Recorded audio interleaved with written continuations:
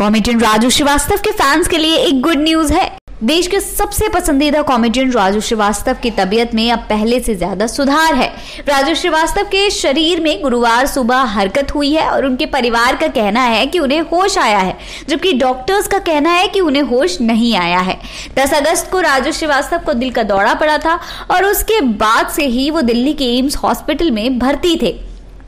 राजू श्रीवास्तव करीब 15 दिन से बेहोश थे और उनकी हालत नाजुक बनी हुई थी। अब लेटेस्ट रिपोर्ट के मुताबिक उनके स्वास्थ्य में पहले से ज़्यादा सुधार है। न्यूज़ एजेंसी एएनआई की रिपोर्ट के मुताबिक राजू श्रीवास्तव को होश आ गया है।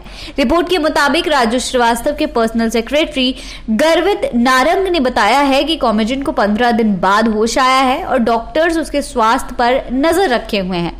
वही उनकी तबीयत में भी सुधार है। वहीं दूसरी ओर कुछ लोगों का कहना है कि राजू श्रीवास्तव अभी वेंटिलेटर पर ही है, होश नहीं आया है।